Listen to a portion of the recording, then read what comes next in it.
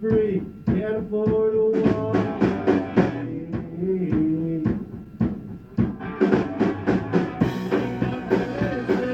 What do you know about dog telling?